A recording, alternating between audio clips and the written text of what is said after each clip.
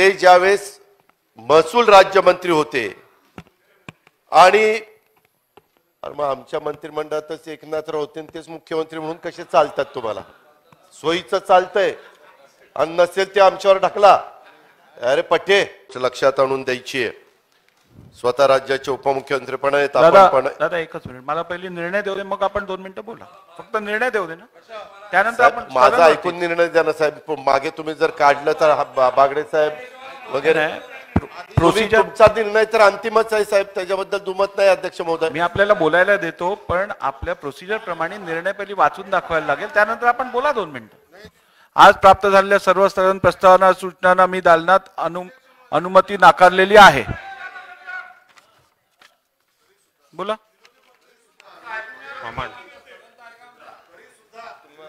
नाही तुम्ही मांडा.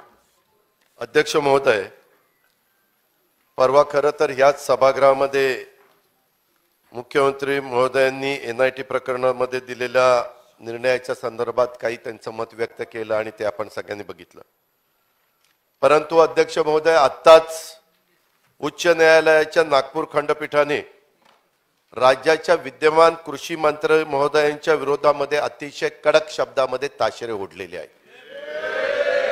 अध्यक्ष महोदय अतिशय पदाचा दुरुपयोग ते ज्यावेळेस महसूल राज्यमंत्री होते आणि अरे मग आमच्या मंत्रिमंडळातच एकनाथराव होते आणि तेच मुख्यमंत्री म्हणून कसे चालतात तुम्हाला? सोयीचं चालतंय. आणि नसेल ते आमच्यावर ढकला. अरे पठे अध्यक्ष महोदय मौजे घोडबाबुळ जिल्हा आणि तालुका वाशिम येथील गाय सरकारी गायरान जमीन गट नंबर चव्वेचाळीस मधलं उपमुख्यमंत्री महोदय सदोतीस एकर एकोणीस गुंठे जमिनीचा हा घोटाळा अध्यक्ष महोदय हा घोटाळा किंमत जर काढली तर दीडशे कोटीचा आहे. अध्यक्ष महोदय आपल्याला सगळ्यांना माहिती आहे प्रशासनाला माहिती आहे की गायरान जमिनी कुणाला देता येत नाही सुप्रीम कोर्टाचा निकाल आहे. आणि त्याचं आपण पालन सगळेजण करत आलोय. अध्यक्ष महोदय असं असताना एक व्यक्ती योगेश खंडाळे नावाची तिथं जिल्हा न्यायालयात त्यांनी मागणी केलेली होती ती मागणी तिथल्या जिल्हा न्यायालयाने फेटाळली. आणि जिल्हा न्यायालयाने ती मागणी फेटाळताना खंडारेचा या जमिनीवर कोणताही अधिकार नसताना तो दाबा मिळ- ताबा मिळवण्याचा प्रयत्न करत होता. आणि सरकारी जमीन आपली गायरानाची हडप करण्याचा त्याचा इरादा होता. असं निरीक्षण कोर्टाने नोंदवलं अध्यक्ष महोदय. आम्ही कुणी नाही कोर्टाने.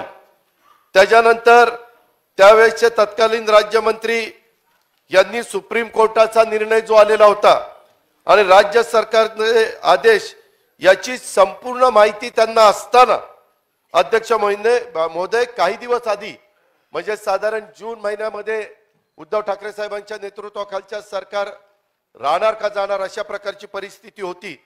आणि सतरा जून बावीसला सदोतीस एकर गायरान जमीन योगेश खंडारे या व्यक्तीला वाटप करण्याचा निर्णय घेतला. हा निर्णय सर्व कायदेशीर बाबींचं उल्लंघन करणारा होता. सर्व कायदेशीर बाबींचं. या याचिकेच्या सुनावणीच्या दरम्यान उच्च न्यायालयाच्या नागपूर खंडपीठाने आपलं अतिशय गंभीर अशा प्रकारचं निरीक्षण नोंदवलं. तत्कालीन महसूल राज्यमंत्री यांच्या विरुद्ध प्रथमदर्शनी ठोस पुरावे उपलब्ध आहेत. जिल्हा कोर्टाचा आदेश माहिती असूनही राज्यमंत्री महोदयांनी हा निर्णय घेतला. जगपाल सिंग प्रकरणातील सुप्रीम कोर्टाचा निर्णय आणि राज्य सरकारच्या शासन निर्णयाची राज्यमंत्री महोदयांनी पायमल्ली केली. अध्यक्ष महोदय एवढंच नाही. महसूल मंत्री तुमच्या अंडर जे जिल्हाधिकारी काम करतात त्या जिल्हाधिकाऱ्यांनी महसूल राज्यमंत्री महोदयांनी निर्णय घेतलेला अवैध असल्याचं वाटलं त्यांना. आणि ते वाटल्यानंतर त्यांनी पाच जुलै दोन हजार बावीसला महसूलचे अतिरिक्त मुख्य सचिवांना पत्र लिहिलं. त्यावेळेस देवेंद्रजी उपमुख्यमंत्री होते आणि हे सरकार आलेलं होतं. आणि त्याच्यामध्ये वादग्रस्त आदेशाचा अंमल केल्यास सुप्रीम कोर्टाचा अनादर होईल. असं स्वतः कलेक्टरनी मला वाटतं नितीन करीरांना कळवलं. असं कळून देखील आवश्यक दिशानिर्देश देण्याची मागणी त्यांनी केली. या पत्रावर दुर्दैवाने माझ्या माहितीप्रमाणे अद्यापर्यंत शासनाने कोणती कारवाई त्या ठिकाणी केलेली नाहीये.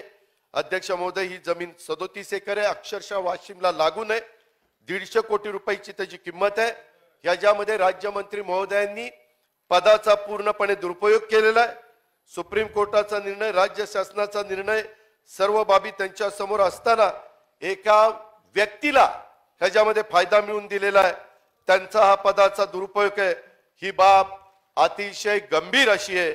या प्रकरणाची जबाबदारी स्वीकारून त्यांनी आपल्या पदाचा तात्काळ राजीनामा दिला पाहिजे. चला. आणि त्यांनी राजीनामा नाही पुढे.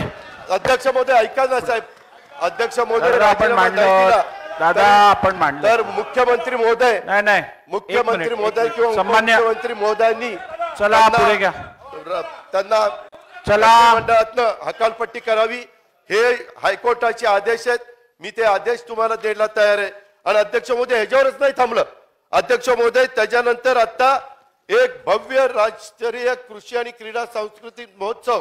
ह्याच्यामध्ये तर अध्यक्ष महोदय एवढं भयानक आहे की ह्याच्यामध्ये पक्ष एक एक मिनिट. नाही, बोलू बोला एक असं करता.